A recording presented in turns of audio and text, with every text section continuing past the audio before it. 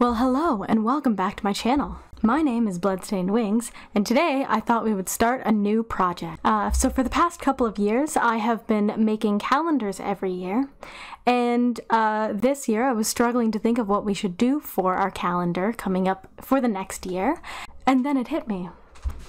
I did all of those paintings in Huevember for last year of the uh, Hyrulean cookbook, and I thought, wouldn't it be really cool if we just did a real cookbook as illustrated paintings?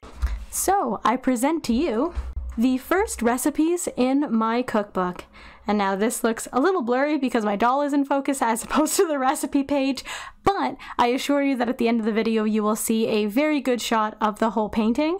Um, it is a recipe for chocolate burrs, otherwise known as haystacks, and I got this recipe from my boyfriend's mom as I explained multiple times during the video. but uh, if you guys would like to paint along, you can feel free to prep your painting with whatever recipe you would like. I'm going to try to paint 12 recipe pages. I don't know if I'm going to be painting them all on here or if I'm going to also be painting them on Twitch, um, so please feel free to follow follow me on both platforms so that you get a good idea. And if you can't do that, that's too much work, then feel free to join my Patreon. I will be posting these on my Patreon as well um, with high res uh, pictures of them so that you guys can really get an idea of what the calendar is going to look like at the end of the year.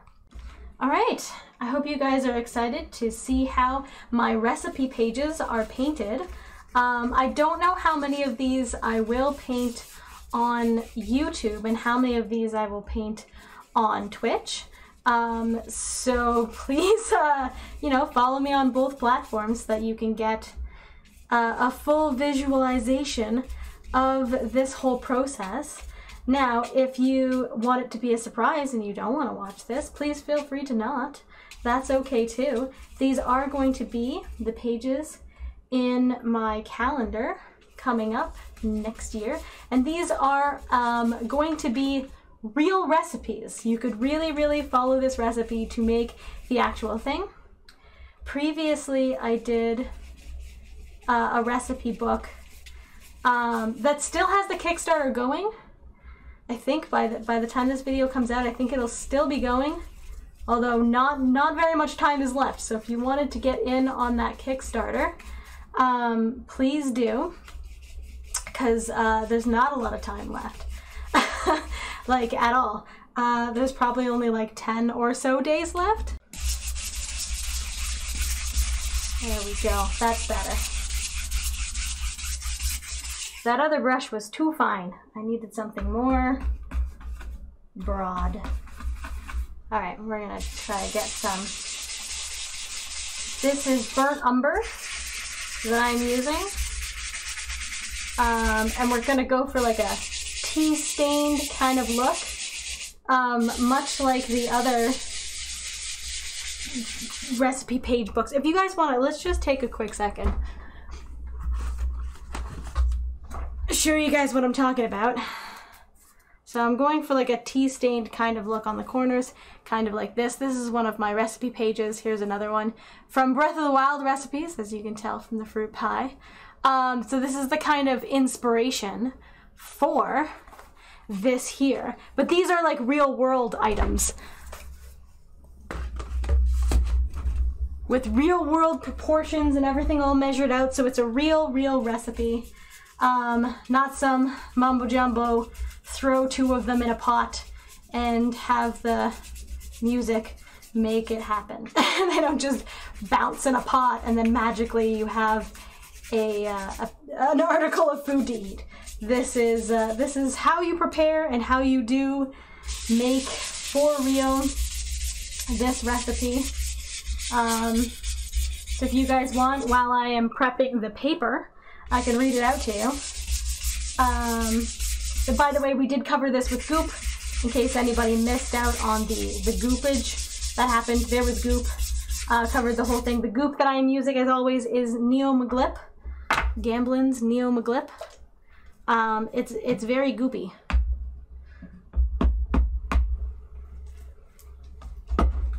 It's not it's not like liquidy, it's more goopy.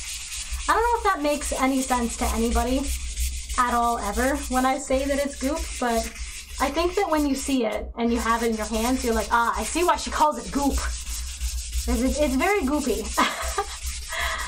um, but anyways, yeah, that's how you get a sponsorship right there. I don't have one, but you know, I feel like by calling your product goopy, that's that's how you sell it right there.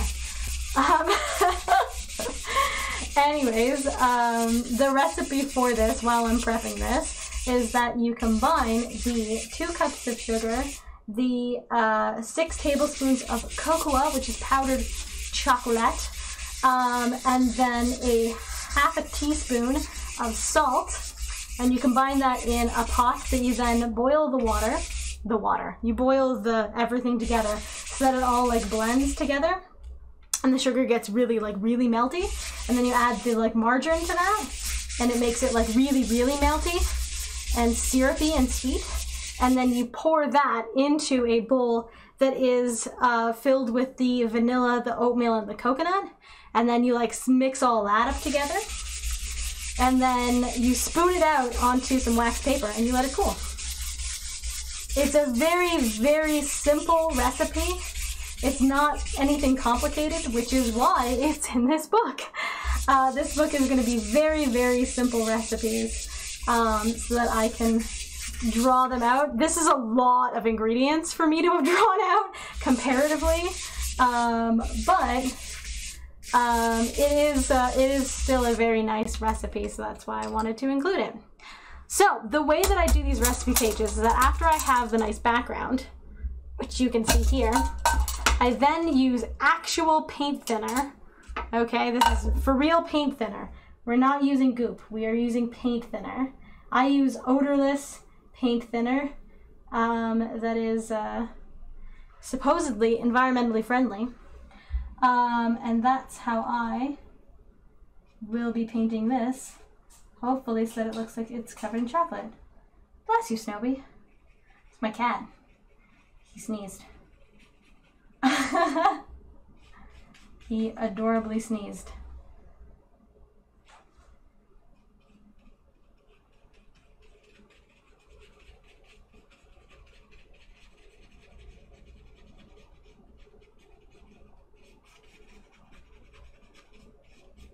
There we go. And now I'm going to use a very thin paintbrush. And I'm going to use more of the paint thinner. And I'm going to come in with some white and just lighten up some of it. Oh geez, that paintbrush is a little stiff. Let's wake it up a little bit.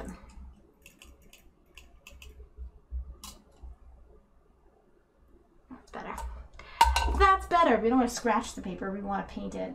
All right, and I'm just going to come in with a little bit of white and kind of blend it in with that to make like a a weighty brown kind of color to first of all blend and second of all add little like tiny highlights to the whole thing so that it looks you know delicious chocolatey chocolatey delicious.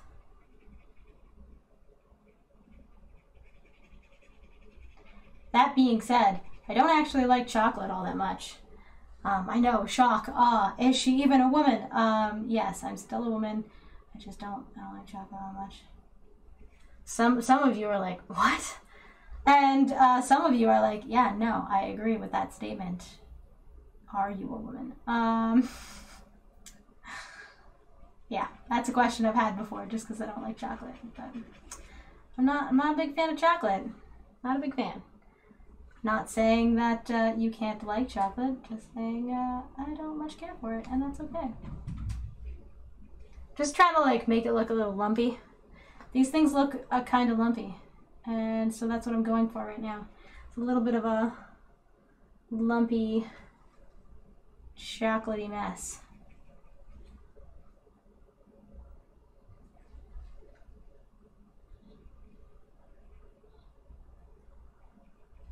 There we go.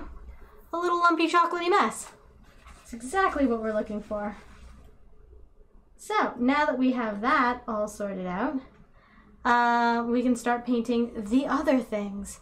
Um, so while I have the brown on this brush, Let's go ahead and paint the chocolat.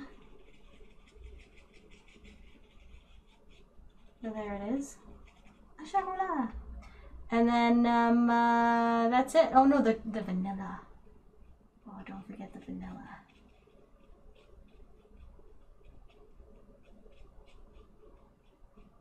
Vanilla and chocolate are actually different shades of brown, but they're different like kinds of brown, but just it's fine. We're rolling with it. Uh, it's fine. All right, I'm gonna grab some more of the white mixed with the um, the thinner. And I'm gonna add a little bit of a highlight to the, oh apparently I'm just gonna paint that. That's cool. Paint this section in white because that's milk. Milk. And then this is salt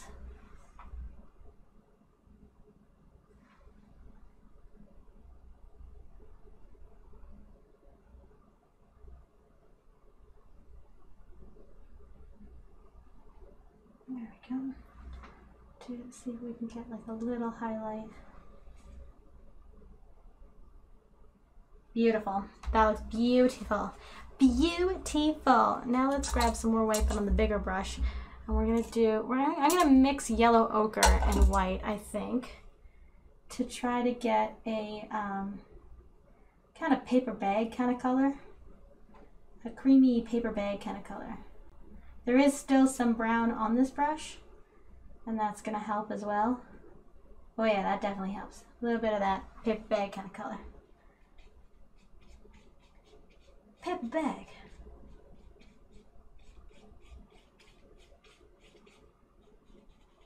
I'm gonna fill everything in except the border that I have there. Lovely. I don't know about you guys, but here, um, they we have like weird color associations. Um, and for some reason, sugar is red.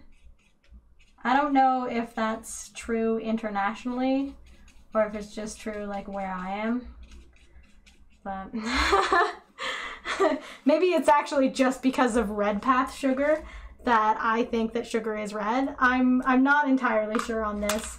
This could be programming.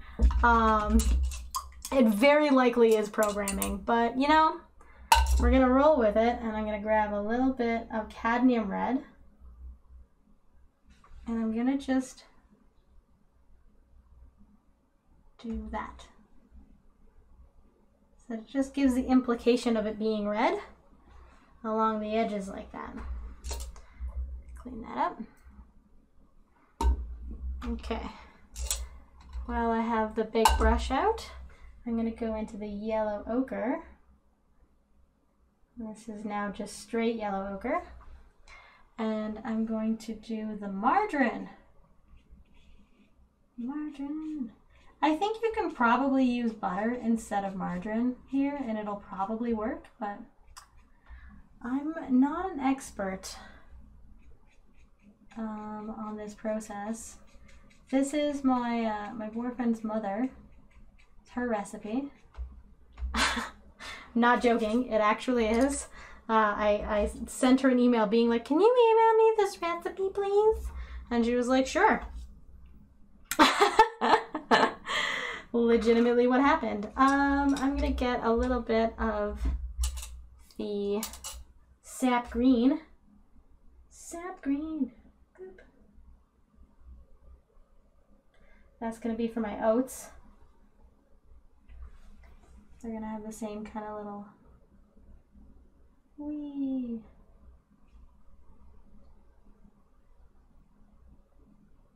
There we go.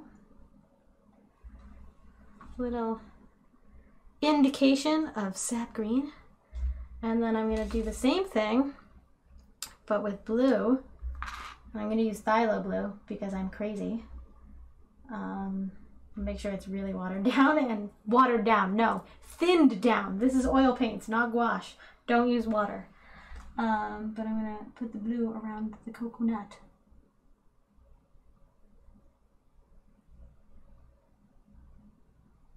Coconut. There we go. And I'm gonna fill the rest of that in with white of the coconut. See, coconut is blue because it's tropical. Not kidding. This is how, this is how Canadian grocery stores are. They're like coconut is blue, and you're like, isn't that coconut brown? And they're like, shh. And you're like, okay. You didn't think about that, and they're like, but you know, tropical. So blue. you're like, that's not that's not accurate at all. That doesn't that doesn't make sense. And they're like, no, shh, it's fine. Um, let's make the plate white. Let's do that. Let's uh, make the plate white using the big paintbrush. The big one. Look how big it is. Um, it's not that big. But we're doing a lot of fine detail stuff, so that's why I'm using a smaller brush. Now it still has a little bit of yellow ochre on it, and that's fine. Come in here and drag this paint around.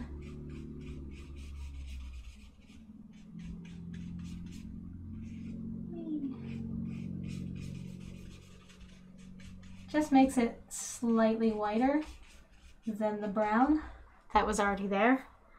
Um, it doesn't make a huge difference, but it makes me feel better. So uh, that's why I'm doing it. There we go.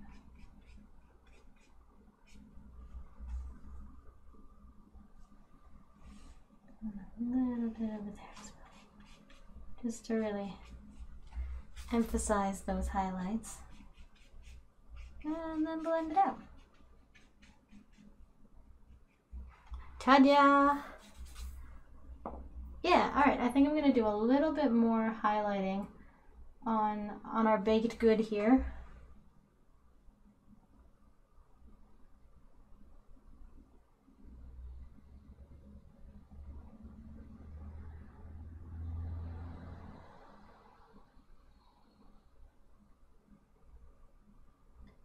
Just to really give it that more dimensional kind of look.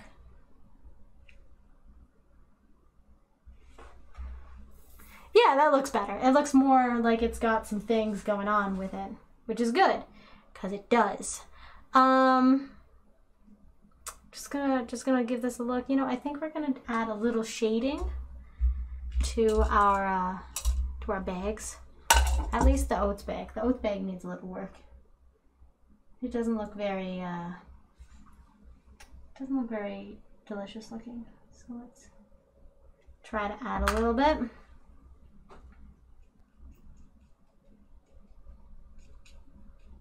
And blend it out. There we go. And that back in here. So it looks a little more there we go. It was a little bit much, so I had to tone it down a bit. That's okay. Come back, add a spot or two, and then blend that out a bit. There we go. It's those kind of like tiny details that really like make things, I don't know, pop. Um, and that's the kind of stuff that's gonna make it look more like it's a thing. It's a for real thing.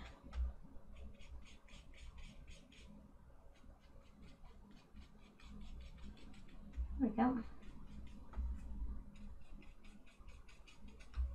There, that looks much better.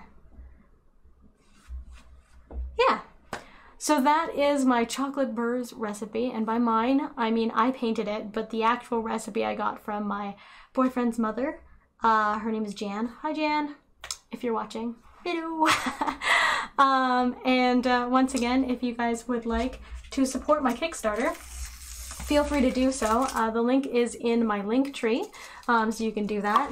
Uh, this calendar will be out next year, so I'll be uh, taking pre-orders for it in September. I've been making calendars for a while now, so uh, that's uh, that's how she goes. Uh, if you guys would like to stay tuned for that, please hit subscribe, um, uh, like, and comment so that I know that that is a thing that you want, and I will make sure to have a video um, come out when uh, the calendars come out so that you guys can know and you guys can see, and everything will be great. And thank you so much for watching. I really appreciate you guys stopping by today. I hope you have a lovely day today. And uh, thank you so much to my Patreon subscribers for supporting the channel and making sure I can continue to do this. And please remember that you are loved and you deserve to be loved. And I'll see you next week. Mwah!